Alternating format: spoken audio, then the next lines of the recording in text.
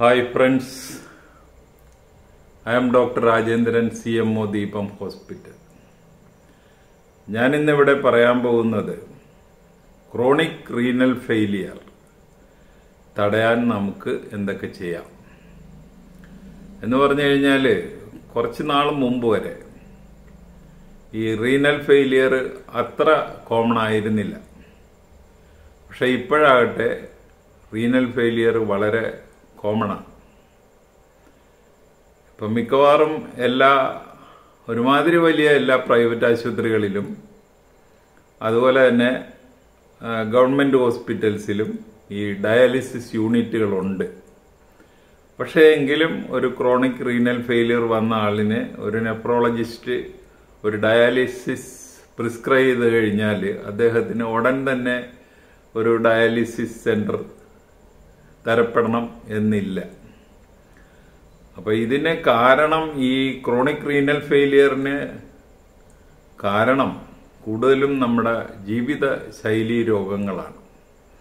അപ്പൊ ഞാനിനി പറയാൻ പോകുന്നത് ക്രോണിക് റീനൽ ഫെയിലിയർ വരാനുള്ള കാരണങ്ങളും അതിൽ നിന്ന് നമുക്ക് മോചനം കിട്ടാനുള്ള മാർഗങ്ങളെ പറ്റിയാണ് സംസാരിക്കാൻ പോകുന്നത്. അപ്പോൾ ആദ്യമായിട്ട് ഞാൻ പറയാൻ പോകുന്നത് ഈ ക്രോണിക് റീനൽ ഫെയിലിയർ വരുന്ന കൂടുതലും പേഷ്യൻസ് ഒരു മോർ ദാൻ ഫിഫ്റ്റി പെർസെന്റും ഡയബറ്റീസ് ഉള്ളവരായിരിക്കും. അൺകൺട്രോൾഡ് ഡയബറ്റീസ് ആണ് ഇതിന്റെ പ്രധാന കാരണം. ഡയബറ്റീസ് ഒരു കുറേയൊക്കെ അത് പാരമ്പര്യത്തിൽ നിന്ന് വരുന്നതാണേലും കൂടുതലും അതൊരു ജീവിത ശൈലീ രോഗമാണ്. അപ്പോ ഈ ഡയബറ്റീസ് വന്നു കഴിഞ്ഞാൽ നമ്മൾ കഴിവതും പെട്ടെന്ന് അത് കണ്ടുപിടിക്കുക. കണ്ടുപിടിച്ചിട്ട് അത് കൺട്രോൾ ചെയ്യുക. അതാണ് ഏറ്റവും പ്രധാനം. അപ്പോൾ ഈ അൺകൺട്രോൾഡ് അൺകൺട്രോൾഡ് ഡയബറ്റീസ് കൊണ്ട് പല അസുഖങ്ങളും ഡയബറ്റിക് റെറ്റിനോപ്പതി കണ്ണിനെ ബാധിക്കുന്ന ഡയബറ്റിക് ന്യൂറോപ്പതി അതുപോലെ തന്നെ നെർവ്സിനെ ബാധിക്കുന്ന അതുപോലെ തന്നെ കിഡ്നിയെ ബാധിക്കുന്നത് ഡയബറ്റിക് നെഫ്രോപ്പതി അപ്പോൾ ഈ അതിലാണ് ഈ ക്രോണിക് റീനൽ ഫെയിലിയർ വരുന്നത്. അപ്പോൾ ഇതെല്ലാം ഡയബറ്റീസ് കൺട്രോൾ ചെയ്യാതെ പോകുമ്പോഴുണ്ടാകുന്ന പ്രശ്നങ്ങളാണ്.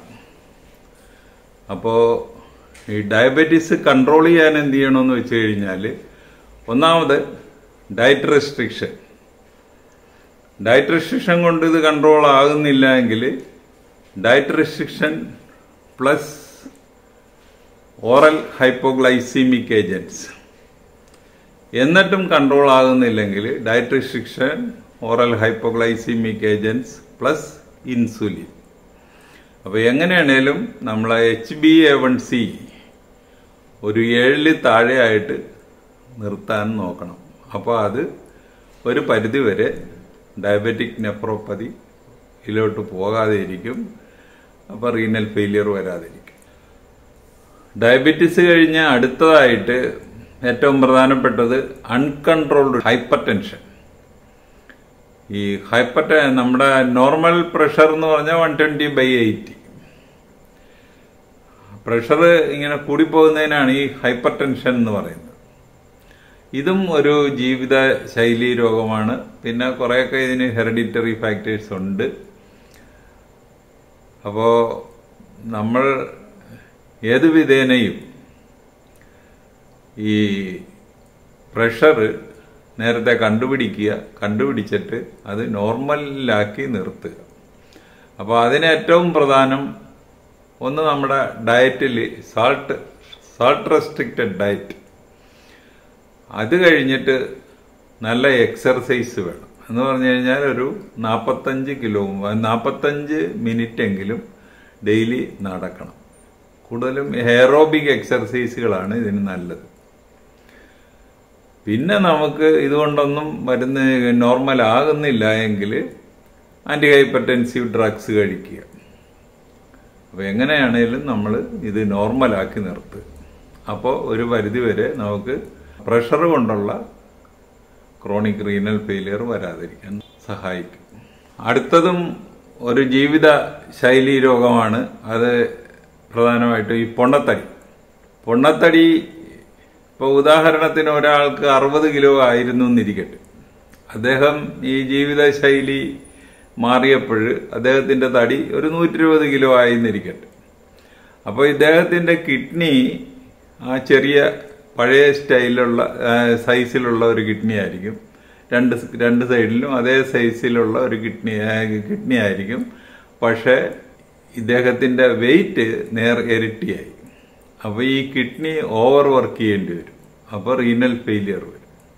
അപ്പോൾ ഇത് ഒരു ജീവിതശൈലി രോഗമാണെന്ന് പറയാനായിട്ടുള്ള കാര്യം എന്ന് പറയുന്നത് പണ്ട് നമുക്ക് ഇഷ്ടം പോലെ എക്സർസൈസുകൾ ഉണ്ടായിരുന്നു. ഇന്ന് അതെല്ലാം നേരെ തിരിഞ്ഞു. എക്സർസൈസ് ഇല്ല. നമ്മൾ ആവശ്യത്തിൽ കൂടുതൽ ഭക്ഷണം കഴിക്കും അതും ഈ വറുത്തതും പൊരിച്ചതും ഇഷ്ടംപോലെ ഉപ്പ് ഇഷ്ടംപോലെ പഞ്ചസാര ഇതെല്ലാം കഴിക്കും. അപ്പൊ ഇതാണ് ഒബിസിറ്റിക്ക് ഒരു കാരണം. പണ്ട് ഒരു ആൾ ഗ്രാമത്തിൽ നിന്ന് ടൗണിൽ പോയിരുന്നത് ഒന്നുകിൽ നടന്നു പോകും അല്ലെങ്കിൽ സൈക്കിളിൽ പോകും ഇപ്പോഴാകട്ടെ അദ്ദേഹം ഒരു ടു വീലർ എടുക്കും അല്ലെങ്കിൽ കാർ എടുക്കും. ഒരു സ്കൂൾ കുട്ടിയാണെങ്കിൽ അവൻ നാലു മണിക്ക് സ്കൂളും വിട്ട് വന്നു കഴിഞ്ഞാൽ അവൻ കുറേ നേരം കളിക്കാനായിട്ട് പുറത്തോട്ട് പോകും. അതിപ്പോൾ ഇല്ല. അവൻ നേരെ വന്നിട്ട് ഒന്നുകിൽ മൊബൈലിൽ കളിച്ചുകൊണ്ടിരിക്കും അല്ലെങ്കിൽ ടി വിയുടെ മുമ്പിലായിരിക്കും.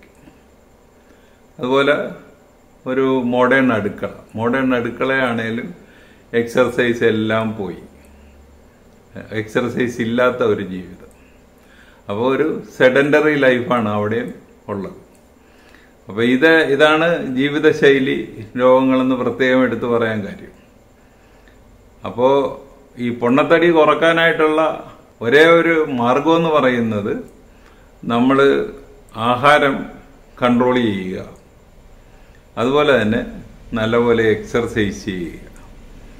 അല്ലാതെ ഇതിൽ അധികം മരുന്ന് കഴിക്കുന്നതിൽ വലിയ കാര്യമൊന്നും ഇല്ല.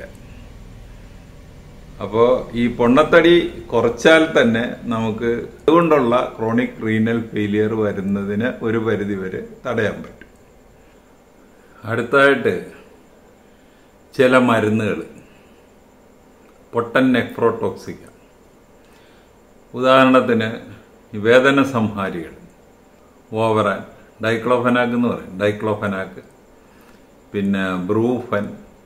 ഇതെല്ലാം വളരെ പൊട്ടന്റ് നെഫ്രോടോക്സിക് ഡ്രഗ്സുകൾ അതുപോലെ ഗ്യാസിനുള്ള ചില മരുന്നുകൾ അപൂർവം ചില പച്ചമരുന്നുകൾ പിന്നെ ഇപ്പം നമ്മൾ ഈ ഓവറാൻ നിർഭാഗ്യവശാൽ അവരെന്തെങ്കിലും മുട്ടുവേദനക്കൊക്കെ വരുമ്പോൾ നമ്മൾ ഒരു ഒരു ഒരു മൂന്ന് ഓവറാൻ ടാബ്ലറ്റ് കൊടുത്തു വിട്ടു എന്നിരിക്കട്ടെ.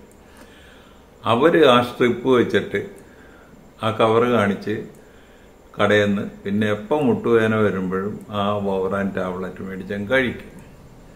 ഇതാണ് വളരെ ഡേഞ്ചറസ് ആകുന്നത്.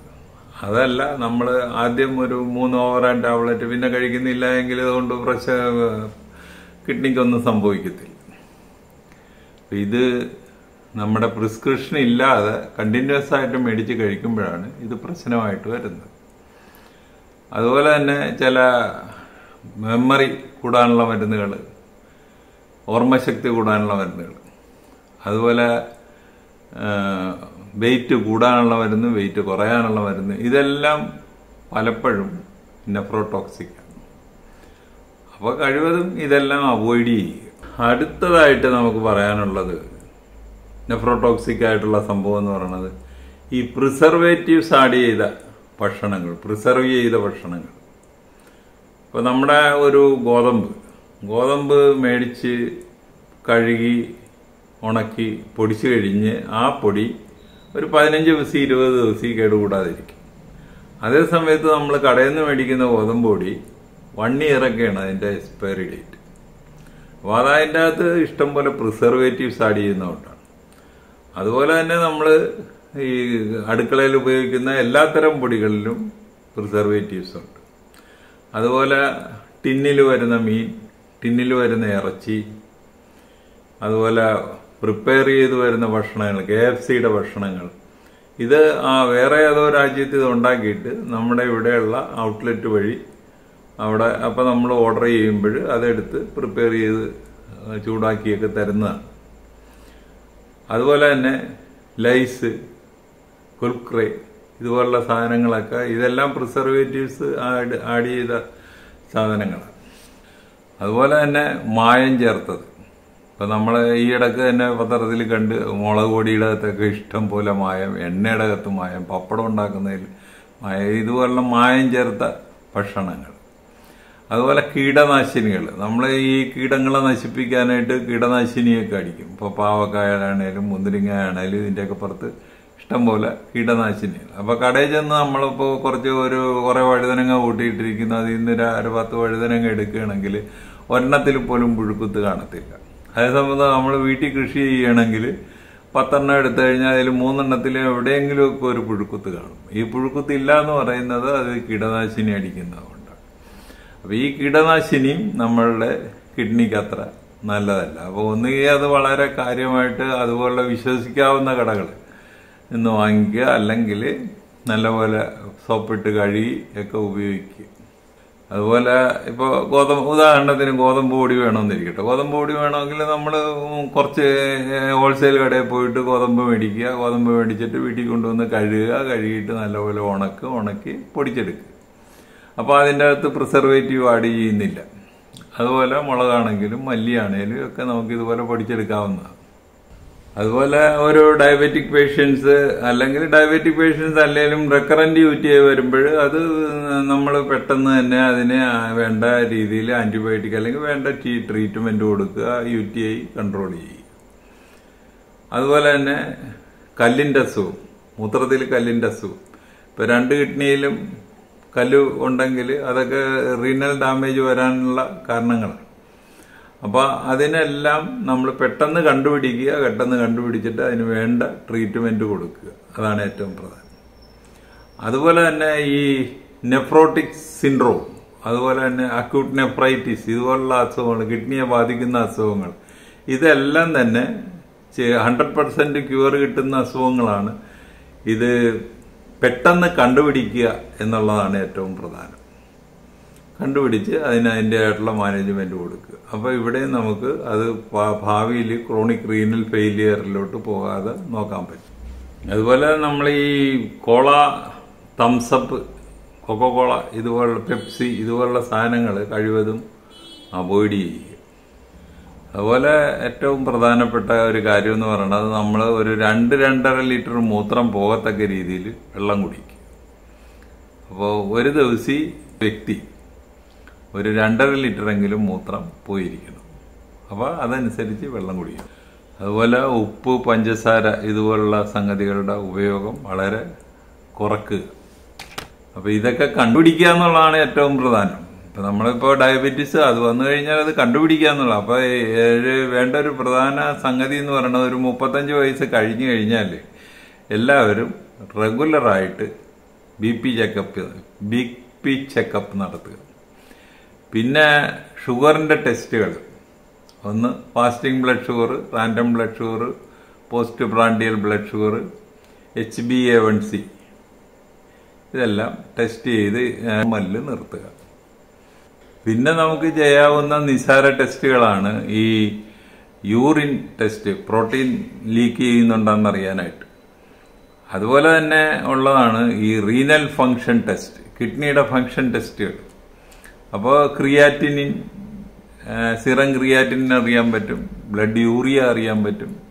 യൂറിക് ആസിഡ് അറിയാൻ പറ്റും. അപ്പോൾ ഇതെല്ലാം കൊണ്ട് നമുക്ക് ഈ കിഡ്നിക്ക് എന്തെങ്കിലും പ്രശ്നം ഉണ്ടാകുന്ന തുടക്കത്തിൽ തന്നെ കണ്ടുപിടിക്കാൻ പറ്റും. അപ്പോൾ ഈ ടെസ്റ്റുകളെല്ലാം റെഗുലറായിട്ട് ചെയ്യുക. പിന്നെ ഈ ആനിമൽ പ്രോട്ടീൻ കഴിവതും കുറക്കുക. അവോയ്ഡ് ചെയ്യുക എന്നല്ല പറഞ്ഞാൽ കുറക്കുക.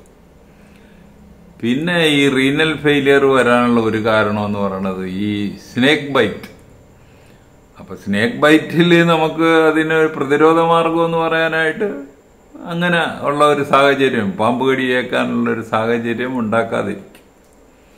അതുപോലെ തന്നെ പലരും സൂയിസൈഡൽ അറ്റ അറ്റംപ്റ്റിൽ ഇതുപോലുള്ള ഈ വിഷം പോയിസൺ കഴിച്ചിട്ടൊക്കെ വരുന്നവരുണ്ട്. അവർക്കും റീനൽ ഫെയിലിയർ വരും. അപ്പോൾ അവിടെയും പറയാനുള്ളത് അതുപോലുള്ള അറ്റംപ്റ്റുകൾ നടത്താതിരിക്കും. അതുപോലെ കഴിവതും ഈ പരിസ്ഥിതി മലിനീകരണങ്ങൾ കഴിവതും അവോയ്ഡ് ചെയ്യുക ഇതൊന്നും ഹൺഡ്രഡ് പെർസെന്റ് റീനൽ ഫെയിലിയർ വരാതിരിക്കാനുള്ള മാർഗങ്ങളൊന്നുമല്ല. എങ്കിലും നമുക്ക് ഒരു പരിധി വരെ ക്രോണിക് റീനൽ ഫെയിലിയർ കൺട്രോൾ ചെയ്യാൻ ഈ മോളിൽ പറഞ്ഞിരിക്കുന്ന കാര്യങ്ങൾ കൊണ്ട് നമുക്ക് സാധിക്കും. അപ്പോൾ ഈ വീഡിയോ ഒന്നിട്ട് കാണുക ഇട്ട് കണ്ടിട്ട് ഇഷ്ടപ്പെട്ടുവെങ്കിൽ ഞങ്ങളുടെ ചാനൽ സബ്സ്ക്രൈബ് ചെയ്യുക. വേറൊരു വീഡിയോ ആയിട്ട് നമുക്ക് വീണ്ടും കാണാം. താങ്ക്